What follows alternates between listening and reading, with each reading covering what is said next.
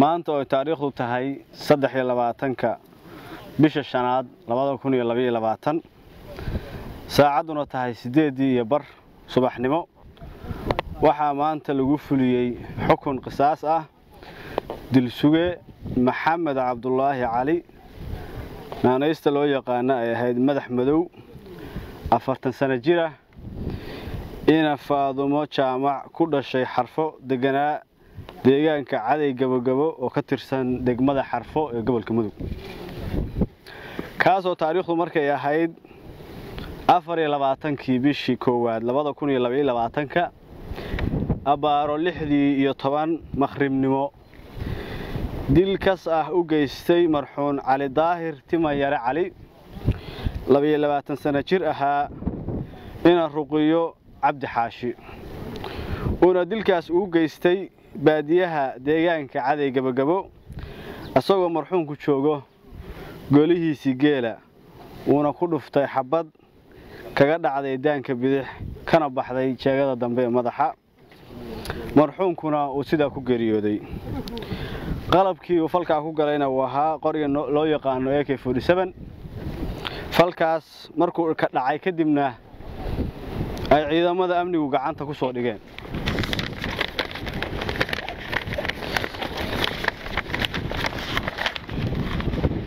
taariikhdu markay ahayd shantii bishii labaad labada kun iyo labaiyo labaatan waxaa maxkamadda darajada koowaad ee gaalkacyo xukun ka soo saartay kiiska dilka loo haystay dilsugaha markay maxkamaddu aragtay qaabka falka u dhacay oo ahaa in dilsuguhu ka soo tegay goobtii uu joogay qorina soo qaatay soona aaday baadiyii uu geela ku haystay marxuunka uguna yimid golihii geela. Uu ku haystay uuna xabad ku dhuftay sidaasna uu ku geeriyooday. Markay maxkamaddu aragtay qiraalka dulsugaha iyo caddeemaha kiiska ee maxkamadda la keenay markay maxkamaddu sugtay in dil suguhu yahay mid caafimaadkiisu taam yahay markii falka uu geystay iyo haddaba markay maxkamaddu saddex qodob u bandhigtay dhexlayaasha shareecada ee dhexlayaashii marxuunkii dhintay si waafaqsan shareecada islaamka oo shareecadu siisay saddex xaq oo ah qisaas diyo iyo cafis. Ayna doorteen qisaasta. Waxay maxkamaddu ku xukuntay dil toogasho ah oo ahayd qisaastii marxuun cali daahir timayare cali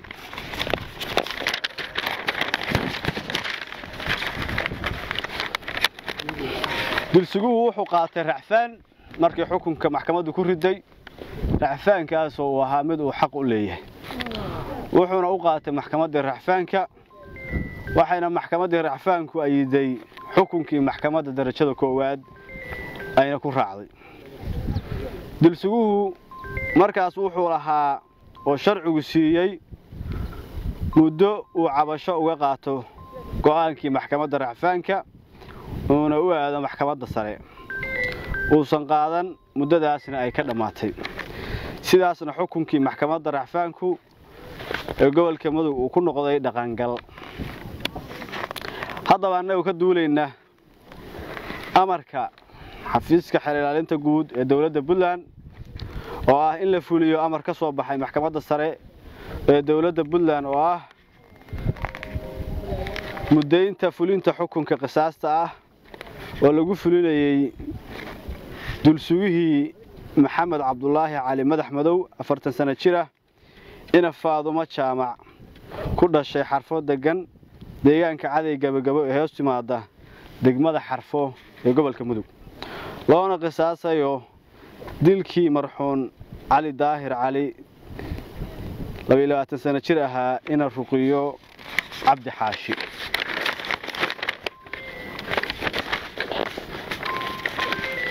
kaasoo maxkamaddu muddaysay in maalinta saddex iyo labaatanka bisha shanaad labada kun iyo labaiyo labaatan abbaare siddeedda iyo bar subaxnimo lagu fuliyo xukunkaas. Ayna fushay loona qisaasay dilsugihii saacaddii iyo maalintii ay maxkamaddu jaangoysay. Si waafaqsan shareecada islaamka iyo qawaaniinta dalka u yaalla kuwaas ay ku xusan yihiin aayadaha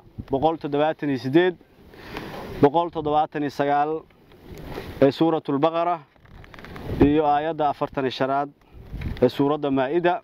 Alla subxaana wa tacaala ku jideeyey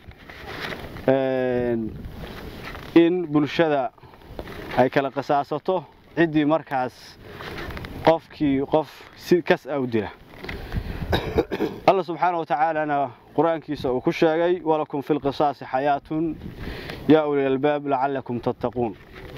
Iyo aayadaha kale wakatabnaa calayhim fiiha annafsu binnafs waalcaynu bilcayn waaludunu biludun sidaasna xukunkii maxkamadda iyo muddaynteedii uu ku fulay. Fulin xukunno ka soo kala baxay darajada koowaad ee degmada gaalkacyo maxkamadda racfaanka iyo maxkamadda sare ee dowladda puntland oo ah in la fuliyo qisaas xukun qisaasa laguna fuliyo xukumanaha halkan lagaga fuliyo xukunkii ka soo baxay maxkamadaha aan soo sheegay. Sida uu akhriyay xafiiska xilaalinta gobolka mudug xukunkaas oo soo maray heerar kala duwan taasoo mar walba la waafajinayey sharciga waddanka u yaalla. Hadday ahaan lahayd qaabka loo qaadayo eedda eedaysanaha hadday ahaan lahayd in xukumanaha marka la xukumo la siiyo muddadii uu racfaanka xaqa u lahaa ee soddonka beri ahayd iyo hadday ahaan lahayd in la mariyo ijraa'aadkii ama habraacii qofka la qisaasanaya la marin jiray. Hadday ahaan lahayd in loo muddeeyo goobtii lagu qisaasi lahaa iyo sidoo kale in laga qoro dardaarankii iyo wixii kale oo tasiilaad ah looga baahnaa. Dhammaan inahaasoo dhan waxaa maanta xafiiska xilaalinta iyo taliska booliska iyo degmada gaalkacyo konsolkeeda iyo gobolkuba ay ku guulaysteen fulintaas nooc walbay tahay. Markaan intaa kaga imaado xukunka iyo wixii la xiriiray sidaynu ogsoonnahay dilka kaska ah waxaa marka ugu horraysa ka waajib noqonaya ama waxa weeyaan ka ratimaya saddex arrimood oo uu qofku xaq u leeyahay weliyudamka ah. Sida in qofkaas uu qofka qisaasto inuu diyo qaato inuu cafiyo. Qisaasta ayaana mar walba hormarsan oo la hormariyey. Hadday ahaan lahay shareecada islaamka iyo xeerarka waddanka u yaallaba sida ku xusan qodobka iyo ee xeerka ciqaabta soomaaliyeed oo ah dilka kaska ah ciqaabtiisu inay tahay dil dilkaa la mid ah shareecada islaamkuna qisaasta ayay waxay noo sheegtay in ay ku jirto noloshu oo ay qisaastu tahay midda ummaddu ay ka kala badbaadayso. Ilaahay subxaana wa tacaala xikmad ayuu waxa weeyaan ka lahaa marka uu qisaasta ka dhigayey nambarka koowaad. Cafiska iyo diyadana uu kala siinayay nambarada kale taasoo ah haddii qof qof loo qisaaso in ummadda inta kale ay ku cibro qaadato cibradaasoo ay noqoto in laga baqo in qof uu si aabiya qof isaga dilo oo dhiigga dadku uu noqdo hadur oo qofkii la raba la iska dilo ayay ahayd xikmadda ku jirta. Baryahan dambe gobolkan waxaa marar badan dhacay ama jiray in la geystay dilal kas ah oo biduuni sabab ah. Kuwaas oo maxkamadda la hor keenay qaybo ka mid ah uu kana yahay kii ugu horreeyey sanadkan intaan ku jirnay fulintiisa hadda aan u joognay kuwo kalena ayaamaha soo aadan la fulin doono taasi waxay muujinaysaa in ummaddu ay waxa weeyaan dantu ugu jirto inay maxkamadaha yimaadaan oo ay maxkamadaha waxa weeyaan u soo xukun raadsadaan si markaas wixii ay ayagu markaas rabaan oo shareecada u bannaysa iyo qaanuunku markaas loogu fuliyo goobtan waxaan u taagannahay kiis dil ah oo fulin ah. Anugu waxaan ahay taliyaha ciidanka asluubta wixii sharci ah oo ninkaa lagu dilay maxkamadaha iyo xerilaalinta akhriyey annaguna waxaan fulinnay wixii annaga nooga aadanaa oo asluub ahaan nooga aadanaa. Waa soo qabannay waa xirxirnay tiirkaan keennay saasuu kiiskii ku fulay. Wasalaamu calaykum waraxmatullahi maanta oo ay tahay saddexlabaatanka bisha shanaad waxaanu halkan ku qisaasnay oo xukun shareecada islaamka waafaqsan maxkamadaha dowladda puntland xukumeen.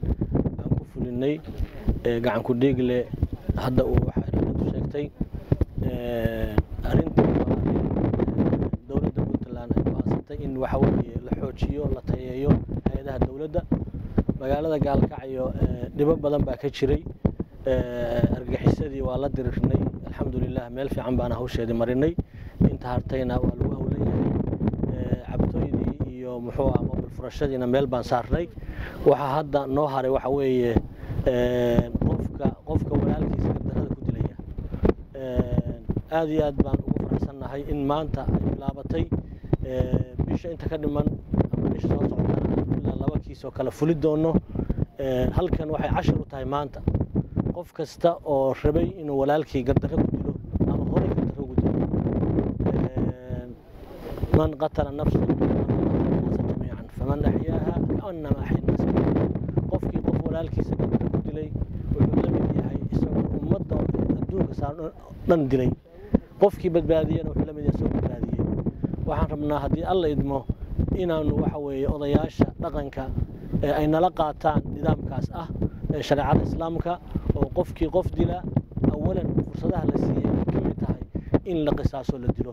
Si halkaa fidnadii ugu joogsato aysan dhicin qofna inuu qof aabi ku dilo.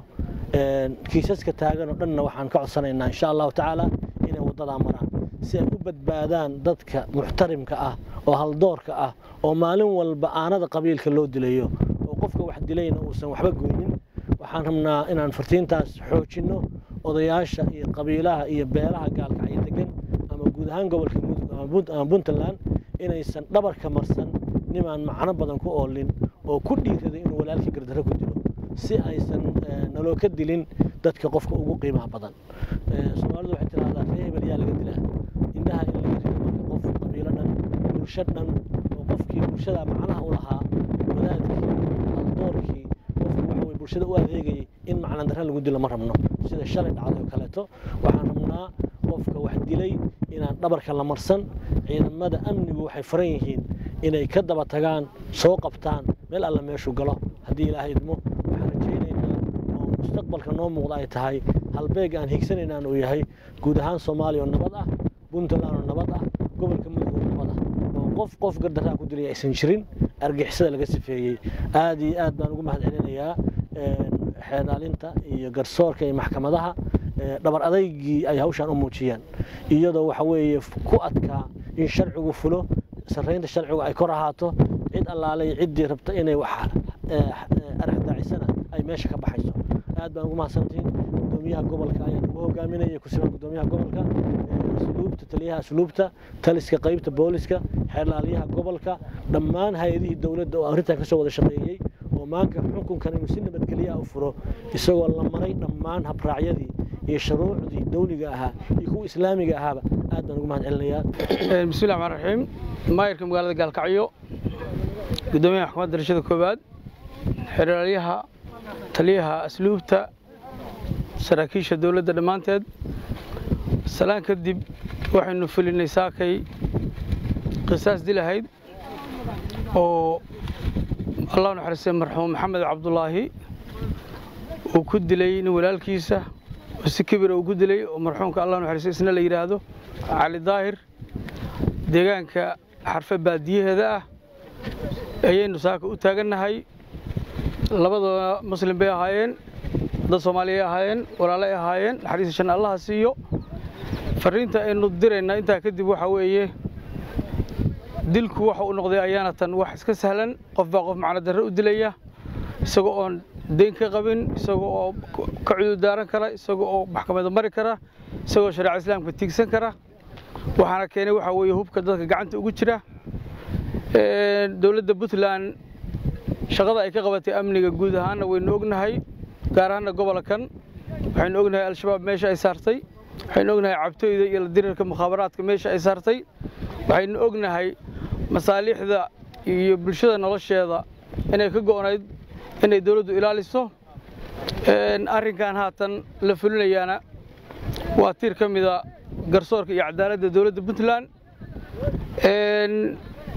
Waxaan ka baran karraa waxaa weeye in qof qof kibir u dilaahi aysan dhicin oo ay tusaale ugu noqdaanin marxuumkan walaalkii khalad ku dilay. Waxaa la rabaa odayaasha dhaqanka iyo qabaa'ilada gobolka baanu ka codsanaynaa walaalyada fududeeya qofkii qof dila oo kibir ku dila inaad sharciga keentaan. Waxa ay yaraynaysaa inaan fidna gadaal tiis dhicin. Waxay yareynaysaa muxibada iyo ehliyaddu inaysan lumin. Waxay yareynaysaa tuhunka iyo kii mataqaanaa tiisa alle u timaada ilaa reer hebel baa dhibkaa geystay. Intaas iyadoo dawo u ah waxaa la idinka rabaa inaad mataqaanaa qofkii qof khalad ku dila oo kas ku dila oo badrad iyo kibir ku dila.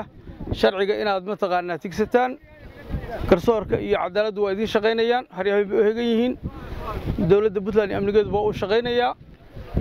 Waxaa tusaale oo xalay shilkii ka dhacay allah naxariistiyo zakariya oo aan maayarka mar labaad uga tacsiyeynayo oo degmada saraakiisha maayarka uu xukumo ka mid ahaa oo runtii qof qiimo ahaa oo nin dhalinyaro aad fircoon ahaa oo shalay magaalada gaalkacii lagu dilay gacanku dhiglihii dilay dowladda wakhtiga uu ka qaatay ilaa hadda waxa weeye waa lagu baadgoobaa raadshoogiis waa lagu jiraa xalay ilaa maanta ciidanku waxay ku jiraan baadiyaha waxay ku jiraan meel walba culayska intaa la eg waxaa abuuray nin shalay wax dilay oo wax laga qaban waayey oo qabaa'iladu ay keeni waayeen. Waxa uu dilin dhaliyaraa oo qiimo leh. Mashquulka intaa leg haddana raadintiisa dowladdii o dhan baa ku fogan oo wakhti ayna ugu talagelin bay inaga qaateen. Culayska intaa leg waxaa la rabaa in dowladda laga qaado. Qofkii wax dila waxaa loo baahan yahay sharciga inta keentaan. Xaqa marka uu leeyahay in laga jaa'iseeyo dhammaanteen amnigu dembi inoo yahay nakooda shaqeyna aad baa mahadsan